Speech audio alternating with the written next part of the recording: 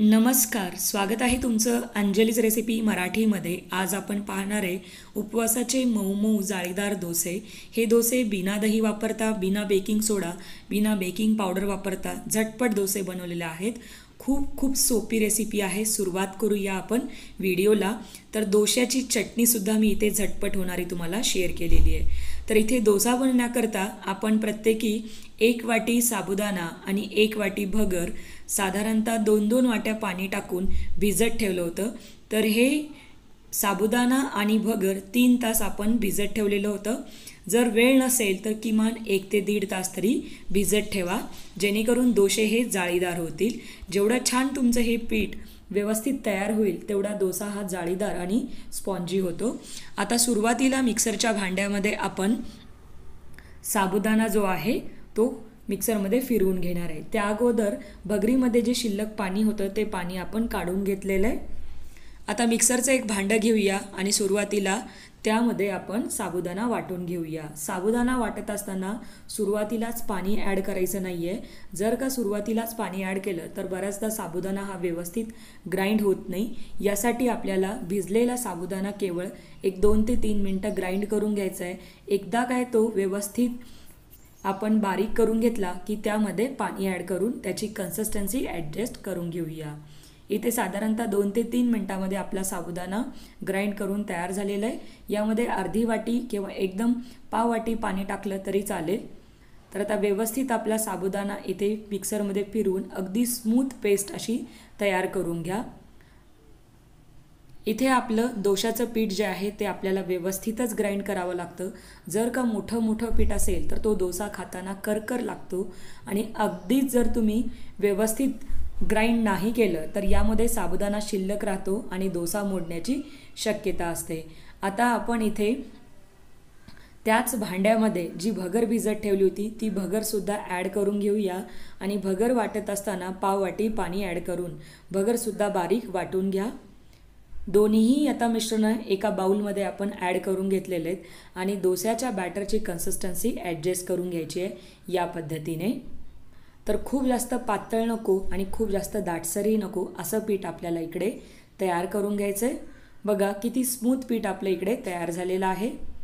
तर आता साधारणतः दोन ते तीन मिनटं हे पीठ जे आहे ते व्यवस्थित फेटून घ्यायचं आहे पीठ व्यवस्थित फेटल्यामुळं डोसा हा हलका फुलका होतो आणि त्याला छान जाळीसुद्धा पडते.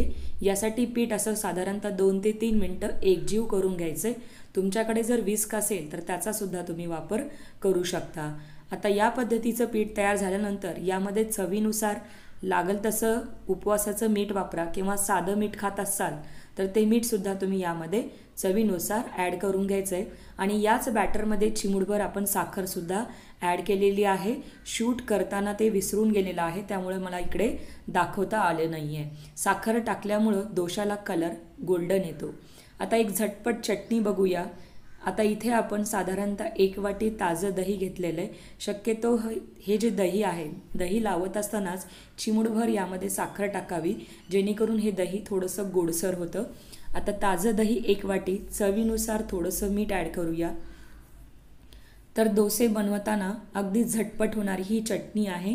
यामध्ये साधारणतः दोन ते तीन चमचे शेंगदाण्याचं कूट ॲड करायचं आहे तर शेंगदाण्याची चटणी या अगोदर मी दाखवलेली होती. तर मिक्सरमध्ये फिरवायला सुद्धा वेळ नसेल तर अगदी झटपट दोन ते अडीच मिनटामध्ये ही चटणी तुमची बनून तयार होते.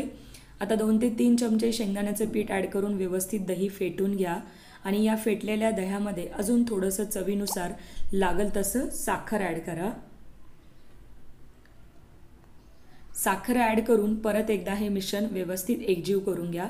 तर दह्याची कन्सिस्टन्सी तुम्हाला जेवढी दाटसर हवी असेल त्या पद्धतीने त्यामध्ये शेंगदाण्याचं कूट ॲड करू शकता. दोन चमचे तेल गरम करा एक चमचे जिरं आणि चवीनुसार हिरव्या मिरचीचे तुकडे वापरायचे. यामध्ये जर कोथिंबीर खात असाल तर तीसुद्धा तुम्ही ॲड करू शकता. व्यवस्थित हा तडका आता या चटणीवर ॲड करा. तर झटपट डोसा चटणी आपली तयार आहे. या चटणीची चव खरंच खूप छान येते. तर या अगोदर मी उपवासाच्या वेगवेगळ्या चटण्यासुद्धा तुम्हाला शेअर केलेल्या आहेत. तर त्यासुद्धा तुम्ही रेसिपी चेक करू शकता. आता ही चटणी आपली तयार झालेली आहे. अतिशय सोपी चटणी आहे आणि आयत्या वेळी साधारणतः दोन ते तीन मिनटात होणारी ही चटणी आहे. इकडे एक तास झालेला आहे. दोशाचं पीठ व्यवस्थित भिजलं गेलं आहे यामध्ये मी कुठलाही बेकिंग सोडा बेकिंग पावडर काहीही ॲड केलं नाही आहे दोशाचा तवा गरम करा. असा व्यवस्थित गरम झाला की त्यावर पाणी टाकून एकदा टिश्यू पेपरने पुसा आणि त्यानंतर तेल लावून घ्या. लगेच आता यावर दोशाचं पीठ ॲड करून घ्या आणि व्यवस्थित हलक्या हाताने पळी फिरून घ्या. डोसा तुम्हाला जेवढा पातळ हवा असेल त्या पद्धतीने तुम्ही फिरवून घेऊ शकता. बऱ्याच जणांचा दोशाचं पीठ हे वर उचलून येतं. तर फिरवता व्यवस्थित येत नसेल तर याचं एकमेव कारण तव्याचं टेम्परेचर असतं. तवा जर जास्त गरम असेल तर दोशाचं पीठ हे लगेच तुमच्या पळीला चिटकून येतं. आता खालच्या साईडनी गोल्डन भाजला गेला की लगेच आपण तो पलटून घेऊया.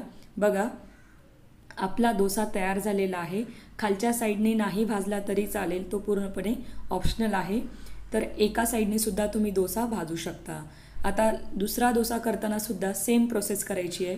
थंड पाणी टाका तव्याचं टेम्परेचर कमी करून घ्या आणि तेल ग्रीस करून डोसा त्यावर ओतून घ्या.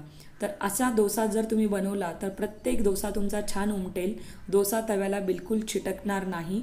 तर हे डोसे करत असताना नेहमी तव्याचं टेम्परेचर आपण मेंटेन केलं पाहिजे जेणेकरून तुम्ही कुठल्याही प्रकारचा डोसा यावर बनवू शकता. आणि जो डोसा तवा वापरलेला आहे तुम्ही कास्ट आयरन डोसा तवा आहे. अर्थातच हा लोखंडी दोशाचा तवा आहे. तुम्ही नॉनस्टिक तवा वापरला तरी चालेल. इथे दुसरा डोसासुद्धा छान आपला उमटला आहे आणि त्याला गोल्डन कलर येईपर्यंत आपण भाजून घेतलेलं आहे. तुम्ही बघू शकता किती छान जाळी पडलेली आहे. यामध्ये आपण दह्याचा वापर न करता सुद्धा या पद्धतीने जाळीदार डोसे तयार करू शकतो. साधारणतः तीन ते चार डोसे मी इकडे तुम्हाला बनवून दाखवणार आहे. प्रत्येक डोसा आपण याच पद्धतीने बनवून घेतलेला आहे. बघा किती छान इकडे जाळी आलेली आहे. यावर थोडंसं साजूक तूप किंवा तेल तुम्ही ॲड करू शकता. जे तूप खात नसेल त्याने तेलाचा वापर करावा आणि डोसे बनवून घ्यावेत. तर आपला तिसरा डोसाही या पद्धतीने तयार झालेला आहे. आता हे तिन्ही डोसे आपण एका ताटामध्ये काढून घेऊया. बघा गरमागरम आपले हे उपवासाचे डोसे तयार आहेत. अगदी मऊ लुसलुशीत असे हे जाळीदार उपवासाचे डोसे अप्रतिम चवीचे हे डोसे तयार आहेत. यासोबत झटपट होणारी दोन ते तीन मिनटातली आपण दही दाण्याची चटणीसुद्धा तयार केलेली आहे. ट्राय करा. रेसिपी खूप खूप सरळ साधी सोपी आहे. रेसिपी जर तुम्हाला आवडली तर एकदा ट्राय करून कमेंट बॉक्समध्ये कळवा. रेसिपी जर आवडलीच असेल तर जास्तीत जास्त लाईक करा शेअर करा. आणि तुम्ही जर आपल्या चॅनलवर नवीन असाल तर आपल्या चॅनलला सबस्क्राईब करायला बिलकुल विसरू नका. सोबतच घंटीचा आयकॉन